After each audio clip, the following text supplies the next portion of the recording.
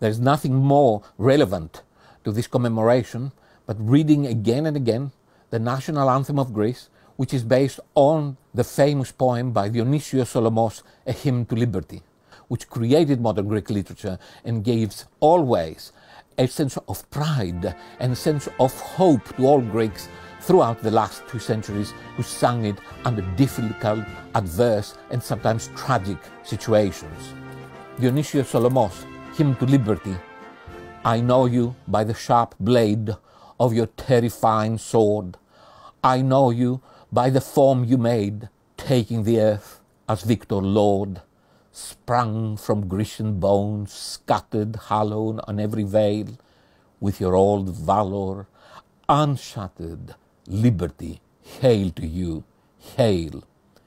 In there you lived, neglected, amid bitterness and shame, awaiting a voice expected, you come back to exclaim. Slow was that day in coming, silence reigned over all, fearful they were becoming, and oppressed by slavery all, hapless.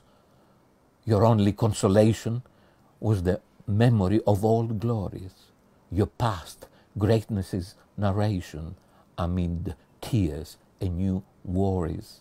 Long did you wait in awe for the words that freedom bear, while your hands in bitter sorrow beat each other in despair. And you asked, When will I rise and leave this desolation?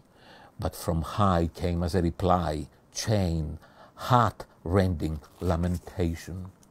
Your eyes were then lifted, dimmed and blotted by tears. On your clothes, blood drops dripped, Grecian blood from many years. Thus, blood stained, well I know, you would steal out in the distance. To strange lands you begged low, seeking powerful assistance. You took to the road alone, and alone you came back, unmoved by your sad tone are the gates that kindness lack. Some would cry and sympathize, but that brought you no relief. Others vowed in arms to rise, cruelly mocking your grief. Alas, others who enjoyed seeing your terrible plight with cruel commands toyed, go, force your sons to fight. Sadly, your own step minding, you retreated, quick and hurried, over grass or rock, reminding where your glory was buried.